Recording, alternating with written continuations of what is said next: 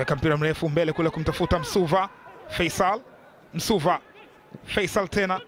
Samata, Sospita Bajana kwa Samata, Charles. Charles Mombwa chuma!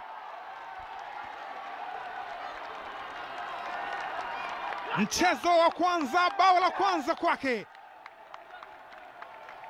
Charles Mombwa. Wengi watajiuliza huyu ametokea wapi, imekuwaje?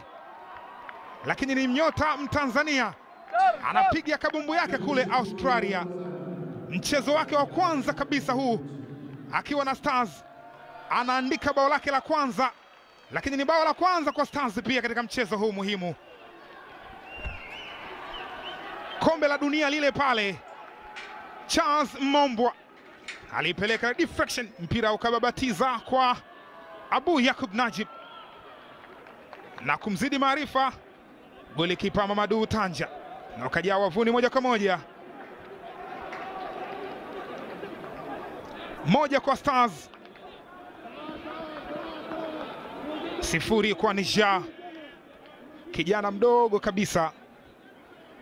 Na hapa Watanzania wako na furaha ambao wapo uwanjani, lakini Watanzania popote pale walipo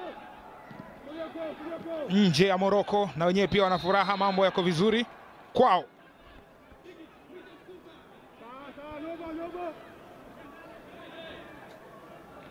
Dalili nzuri hii katika kundi kundi ambalo linaongozwa na Zambia mwenye alama tatu.